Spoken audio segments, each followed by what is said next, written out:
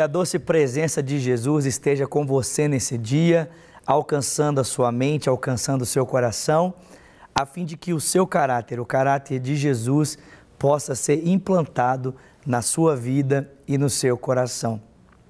O apóstolo Paulo vai dizer para nós, na sua carta aos Coríntios, que tudo aquilo que foi escrito na palavra de Deus tem uma finalidade, e a finalidade é nos ensinar aprendermos por meio do exemplo de outras pessoas a como vivermos a fim de agradarmos o coração do nosso Pai Celestial. E existe uma história nas Sagradas Escrituras que eu gostaria de destacar com você no dia de hoje que fala muito ao meu coração. E essa história é a história do profeta Jonas.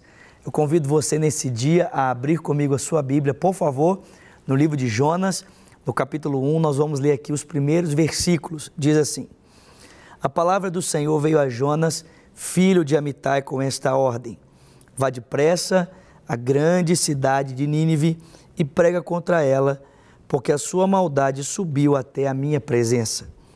Mas Jonas fugiu da presença do Senhor, dirigindo-se para Tarsis. Desceu à cidade de Jope e encontrou um navio que se destinava àquele porto e depois de pagar a passagem, embarcou para Tarsis para fugir da presença do Senhor. É tão interessante olhar para a história de Jonas e pensar que Jonas era um profeta que não queria obedecer a Deus, não queria viver a vontade de Deus. Talvez o mesmo possa acontecer comigo, possa acontecer com você. Existem mandamentos e ordens tão claras na palavra de Deus que tangem a minha vida, tangem a sua vida, e nem sempre nós queremos seguir aquilo que Deus tem nos orientado na sua palavra. E a pergunta é: por que razão Jonas não queria obedecer o Senhor? O que respaldava a desobediência de Jonas?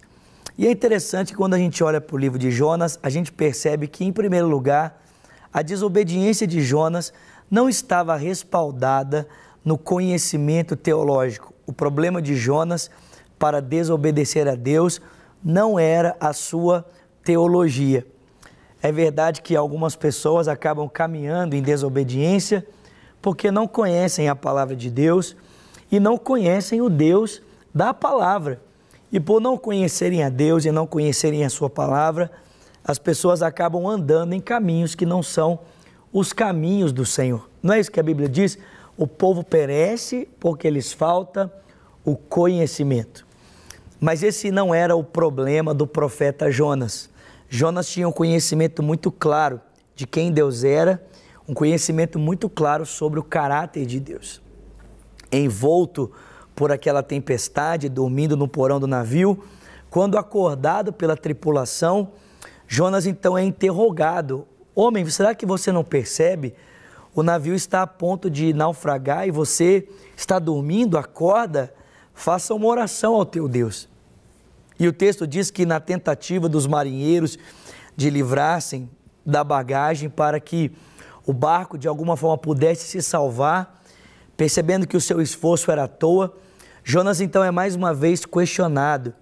E ele então se volta para aqueles homens e diz: Olha, a razão dessa tempestade é muito simples. A razão dessa tempestade sou eu. Eu estou desobedecendo a Deus.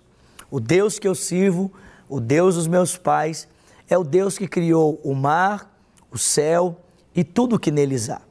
Esse Deus, ele coordena a criação com o fim de que todas as coisas cumpram o propósito dele, a vontade dele. E como eu estou nesse barco, desobedecendo a uma ordem expressa da parte de Deus, ele então está usando a criação com a finalidade de impedir que eu continue caminhando na minha desobediência. Perceba, Jonas tinha um conhecimento muito claro sobre quem Deus era. Ele sabia que o Deus a quem ele servia era o Criador de todas as coisas e que esse Deus coordenava o curso da criação com o fim de que todas as coisas dessem ou deem glórias ao seu nome. Mas o conhecimento de Jonas não se aplica apenas ao aspecto do Deus Criador. No final do livro de Jonas, quando ele entra na cidade e ele prega aquelas pessoas, o texto bíblico diz que diante do arrependimento de toda uma cidade, Jonas se vê indignado E ele diz: Olha, Deus, eu sabia, eu sabia que eu ia pregar, e eu sabia que ao pregar a tua mensagem a esse povo, esse povo ia se converter. Porque o Senhor é um Deus misericordioso. O Senhor é um Deus tardio em ensinar. O Senhor é um Deus que perdoa o pecado daqueles que se arrependem. Perceba, Jonas conhecia não apenas as obras de Deus, mas ele conhecia o caráter de Deus. Ele sabia que Deus era um Deus misericordioso, que Deus era um Deus perdoador, que Deus era um Deus tardio em ensinar e que estendia misericórdia a todo aquele que se arrepende. O problema de Jonas não era um problema teológico. A desobediência de Jonas não estava respaldado na sua falta de compreensão ou em uma compreensão equivocada sobre quem Deus era. E talvez esse seja o seu problema, meu querido amigo, nesse dia. Talvez esse seja a, seja a sua falta. Talvez você não conhece a palavra de Deus e não conhece o Deus da palavra. Pastor Márcio tem nos ensinado que o nosso maior inimigo não é o diabo, nosso maior inimigo não é o mundo, nosso maior inimigo é a falta do conhecimento. O povo perece porque lhes falta conhecimento. Mas é tão simples para nós resolvermos esse problema. Basta nos dedicarmos um pouquinho a estudarmos e conhecermos a palavra de Deus. Como Oséias nos diz, conheçamos e prossigamos em conhecer ao Senhor. Bom, nós já estamos caminhando aqui quase para o encerramento. Amanhã continuaremos essa reflexão. Eu espero você para continuarmos a falar sobre a vida, sobre a história de Jonas, porque isso é um exemplo para nós. Mas antes de me despedir, eu gostaria de deixar você um convite. Toda semana nós temos reuniões na Lagoinha Paquetá. Acontece aqui em Belo Horizonte mesmo, no bairro Paquetá, na rua Maria Cândida de Jesus, o número 840. Nós temos quarta-feira, às 20 horas, o culto da família, sábado, às 19h30, o nosso culto da juventude e domingo, às 18 horas, a nossa celebração como igreja. Você é o meu convidado. Venha estar conosco, vai ser um tempo tão especial de edificação, de comunhão.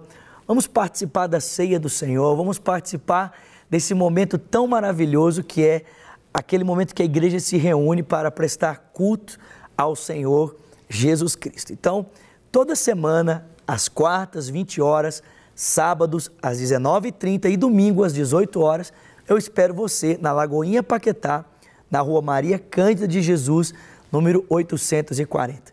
E se você precisa de uma oração agora, você precisa de um conselho, uma palavra de vida para o seu coração, está na sua tela o telefone da paz. Nós temos o um número fixo e também o telefone celular de várias operadoras para que você possa se sentir à vontade de estar sendo servido aqui pela nossa igreja. Por favor, ligue para nós, 3429 9550 ou em um dos números que vão aparecer aí na sua tela.